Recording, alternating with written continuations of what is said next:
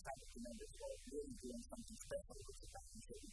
One of our faculty members in mathematics, um, I've been using the uh, Rita function to basically the our practical schools.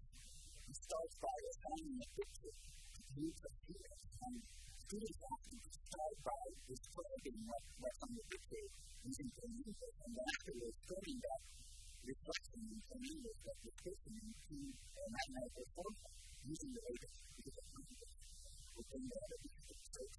We a lot of um, good practices in the beginning using you know, different tools to match up. We get a lot of stuff that's a catalog. You know, use what's going to the data.